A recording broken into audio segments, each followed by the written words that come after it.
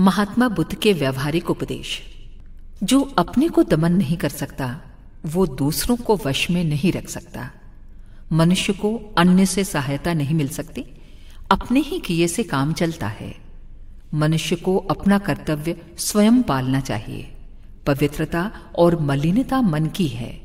कौन किसको शुद्ध कर सकता है? मनुष्य को बिना कुछ पाए हुए भी आनंद से रहना चाहिए। राग के समान कोई आग नहीं है, द्वेष के समान कोई हराने वाला पासा नहीं है, शरीर के समान कोई दुख नहीं, शांति के समान कोई सुख नहीं, आरोग्य परम लाभ है, संतोष परम धन है, विश्वासी पुरुष ही परम बंधु है, निर्वाण ही परम सुख है। धर्मात्मा वही है जो धर्म अधर्म का निश्चय कर सके, वो पंडित नहीं, जो बहुत बोले। क्षमाशील बैर रहित और अभय पुरुष ही पंडित है। बाल पकने से कोई बड़ा नहीं होता। बड़ा वही है जो सत्य, अहिंसा, संयम, दम आदि का अवलंबन करे।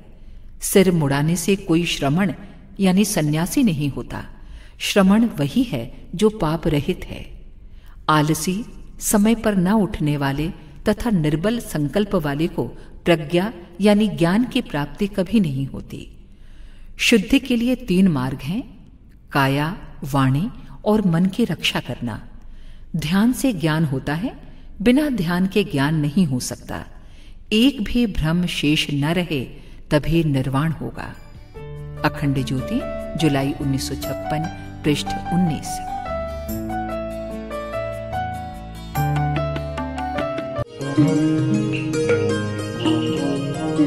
हमारे YouTube चैनल को सब्सक्राइब करें और बेल आइकन को दबाएँ ताकि आपको नोटिफिकेशंस मिलते रहें।